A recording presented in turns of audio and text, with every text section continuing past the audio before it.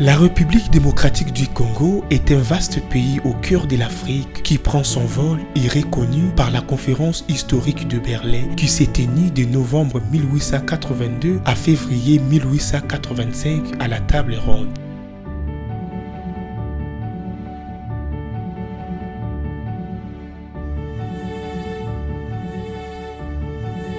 Le 1er août 1885, le roi Léopold II de Belgique accepta la souveraineté sur l'État indépendant du Congo.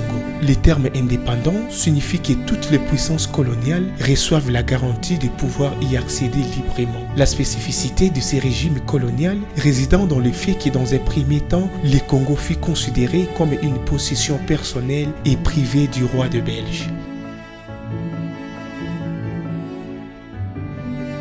Géré sous une forme commerciale, le Congo était divisé en deux parties. L'une constituait les domaines de la couronne et l'autre contribuait à des entreprises privées sous forme de concessions. Les richesses abondantes, caoutchouc, ivoire, mines et etc. du Congo incitent la couronne et les compagnies concessionnaires à entreprendre l'exploitation brutale de la population. Celle-ci diminue de moitié entre 1880 et 1926 au point que certains historiens désignent cette période comme un holocauste oublié. 51 ou 93 ans sous la colonisation du pouvoir belge, la République démocratique du Congo prendrait ses ailes pour l'indépendance par la lutte du brave citoyen et premier ministre congolais, je cite, Emery Patrice Lumumba. Je me trouve aujourd'hui parmi vous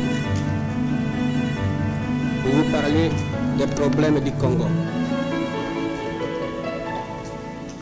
Patrice Emery Lumumba, depuis le jeune âge, il avait ses, camarades de classe qu'il aimait beaucoup, mais l'indignité de ce que lui il a vécu sur la, méchanceté de colons, de colons sur les parents.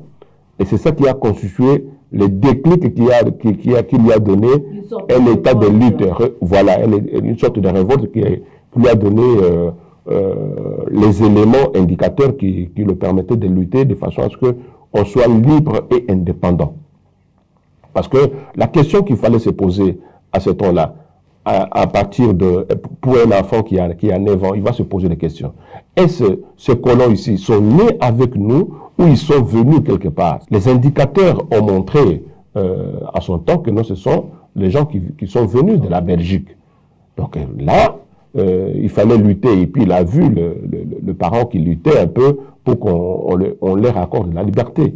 Et du coup, il a emboîté le pas, euh, sur la question sociale, sur la question politique, sur la question des rapports.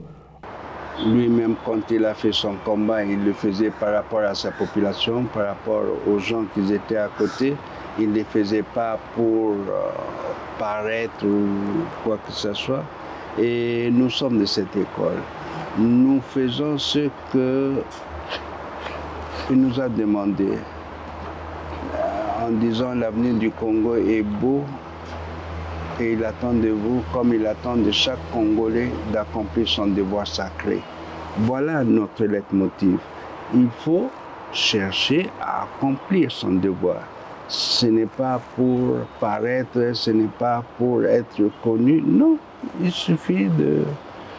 On a un grand pays, mais il a besoin de tous grâce à cette élite qui s'ensuivait de plusieurs d'autres des manifestants congolais pour la déclaration de l'indépendance, notamment les partis Abako du président Kassavoubou, que le pays des sapeurs connaîtra son indépendance. Le parti politique congolais le plus radical et populaire de Léopoldville, Abako, Beto Kakadipanda Mediat, qui veut dire nous voulons l'indépendance immédiatement.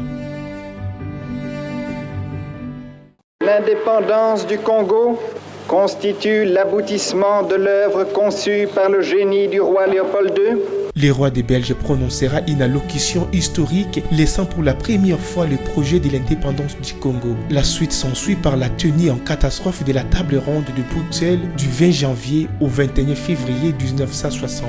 La libération en catastrophe de Mary Patrice Lumumba et son acheminement au Bruxelles comme participant à part entière aux assises des décideurs pour l'indépendance du Congo et l'annonce en catastrophe de la date de l'indépendance du Congo a été en fait lancée 30 juin 1960. 1960.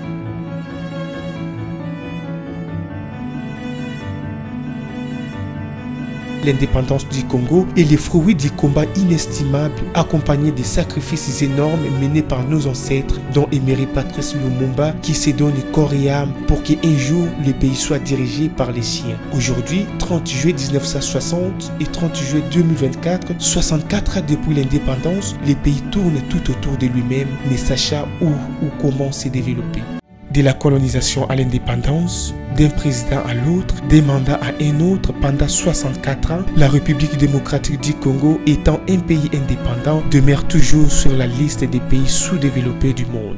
Et je compare avec euh, le, le, combat politique d'aujourd'hui, et je me dis, c'est comme si nous avons reculé. Au lieu de prendre les, les, les élans qui nous a été lancé par Patrice Emery Lumumba, nous sommes en train de reculer encore davantage, pour régresser encore davantage, parce que nous ne sommes plus dans le main dans la main pour une vision réelle qui, qui, nous, qui, qui doit nous retracer de façon à ce que le pays puisse sortir de la dimension noire pour donner la lumière à nos enfants et à nos petits-enfants pour que le, le pays puisse une population très pauvre, une jeunesse à l'avenir flou, aucune ville en République démocratique du Congo répondrait au nom d'une ville dite moderne. Le développement dans les pays de Lumumba après 64 ans de son indépendance reste un défi pour les gouvernements futurs. Mais quoi qu'il en soit, être une nation aussi indépendante est la meilleure chose qui puisse exister pour un pays. Vive 64 ans de l'indépendance de la République démocratique du Congo, vive la République démocratique du Congo.